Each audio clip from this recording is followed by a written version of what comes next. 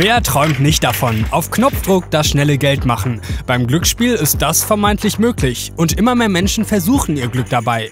Allein der Umsatz mit Spielautomaten lag 2015 bei über 5 Milliarden Euro, Tendenz steigend. Bei 450.000 Deutschen liegt das Spielverhalten allerdings im kritischen Bereich. Wenn ich so durch die Stadt laufe, sehe ich echt an jeder Ecke eine Spielhalle. Aber ich war ehrlich gesagt noch nie in einer drin und frage mich immer, was für Leute gehen da eigentlich rein und wieso ist Glücksspiel eigentlich so beliebt, wobei doch eigentlich jeder weiß, dass man da nur verliert. Oder stimmt das gar nicht? Ich begebe mich in die Welt der Spielotheken und des vermeintlich schnellen Geldes. Ich mache den Selbstversuch und probiere aus, wie viel Geld ich an einem Glücksspielautomaten gewinnen bzw. verlieren kann.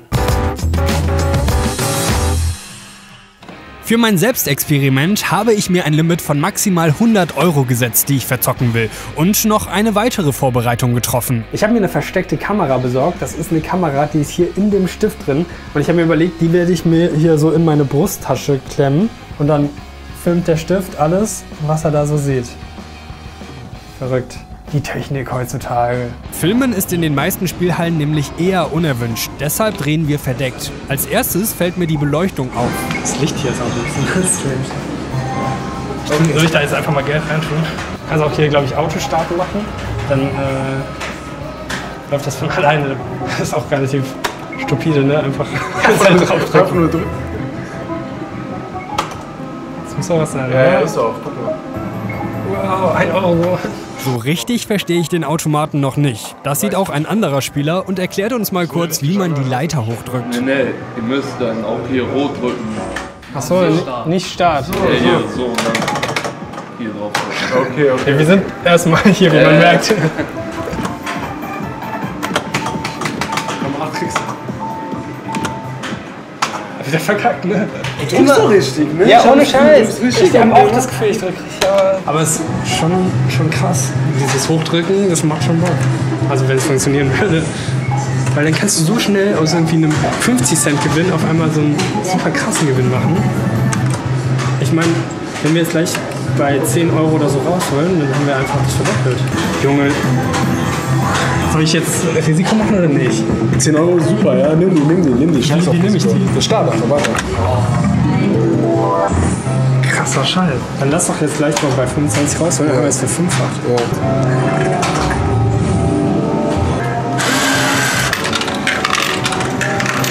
Da, verfünffacht.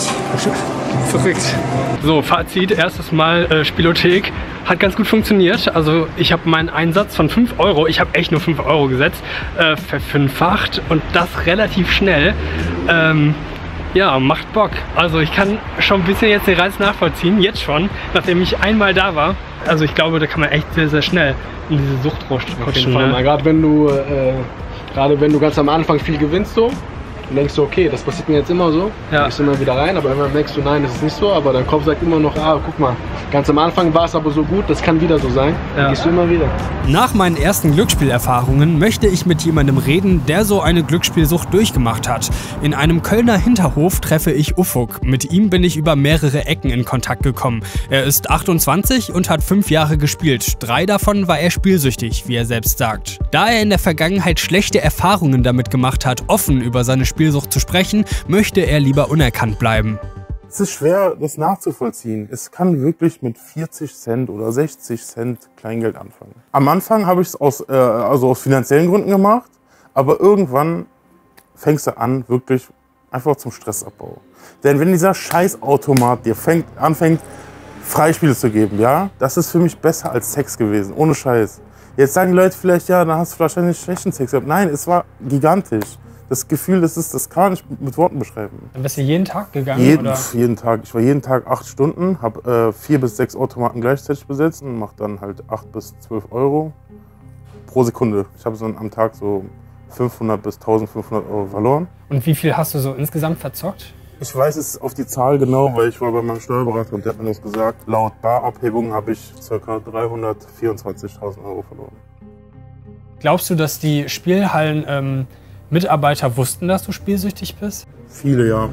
Und ich weiß auch, dass viele das ausgenutzt haben. Zu mir waren sie immer besonders nett. Diese, diese persönlichen Gesten, verstehst du? Nee, der trinkt seinen Kaffee nur mit Milch. Ist das nicht eigentlich auch super assi, dass man äh, Leute quasi noch weiter in Das in ganze Konzept ist asozial. gefickt sind im Endeffekt nur die einfachen Bürger.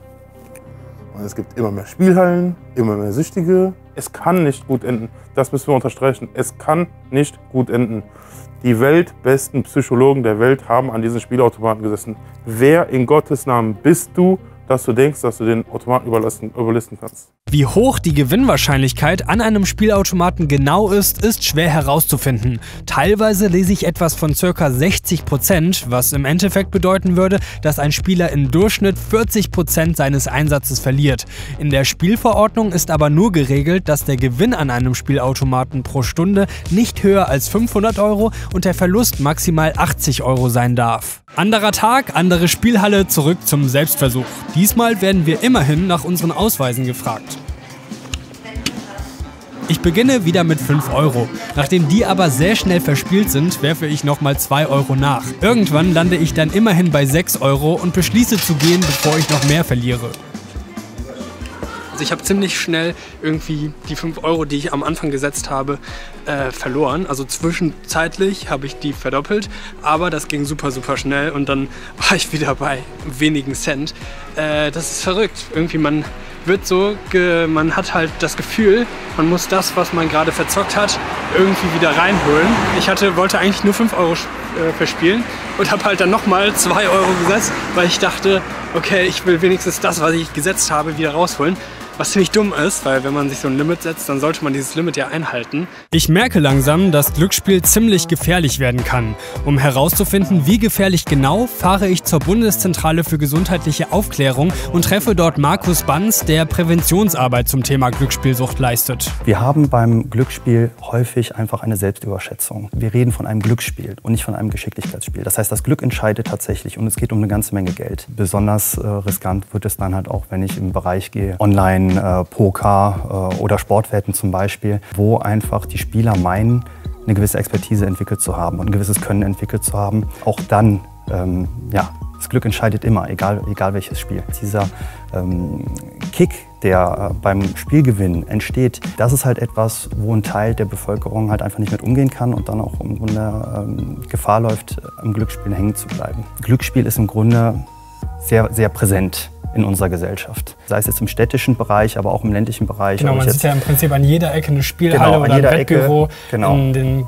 Kneipen stehen teilweise Bars, Automaten. Äh, kleine, kleine Automaten, ja. die ich spielen kann. Und wir sind natürlich jetzt auch in Zeiten des Internets angekommen. Und im Internet ist äh, Glücksspiel 24 Stunden äh, verfügbar, dauerhaft. Für jemanden, der dann tatsächlich glücksspielsüchtig ist, ist es natürlich äh, die Verlockung im Grunde. Überall lockt das Glücksspiel. Ab wann gilt jemand als glücksspielsüchtig? Im Grunde an erster Stelle, wenn ich mehr spiele, als ich eigentlich möchte. Wenn äh, häufig Streits, es zu Streits kommt mit Freunden und Bekannten oder der Verwandtschaft, über das eigene Glücksspielverhalten. Wenn ich Schulden mache oder bereits Schulden habe und weitere Schulden aufnehme oder vielleicht sogar stehle, Arbeit äh, vernachlässige, meine Hobbys vernachlässige, Freunde vernachlässige, das sind alles so Bereiche, wo ich natürlich dann schon im Grunde im kritischen oder süchtigen Bereich mich dann halt befinde.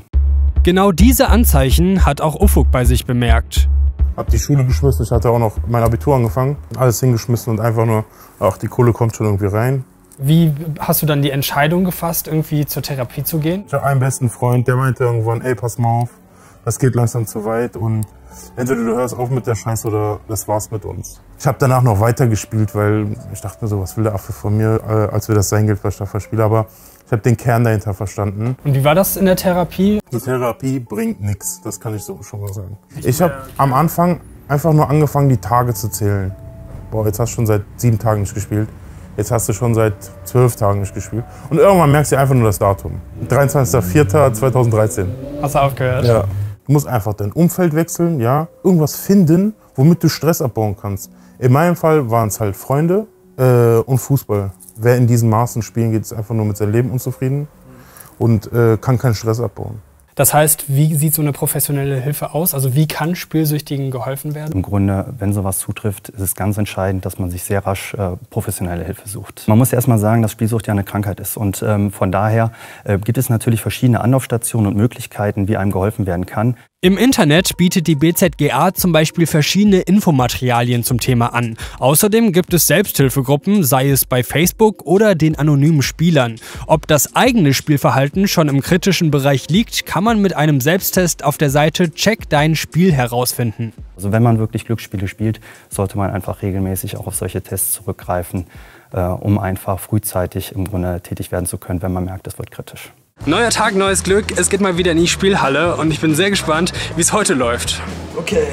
Diesmal beginne ich mit 10 Euro Einsatz. Weit komme ich damit aber nicht.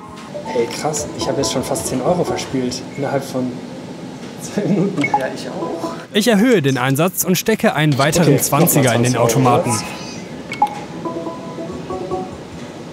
Wenn man nicht gewinnt, macht das auch gar keinen Spaß. Eine Mitarbeiterin fragt mich, ob ich etwas trinken möchte. Die Getränke kosten hier gerade einmal 50 Cent, sind also echt billig. Kommt mir ein bisschen so vor, als würden Spieler so motiviert werden, länger am Automaten zu bleiben. Aber das habe ich ja heute sowieso vor und bestelle mir einen Orangensaft.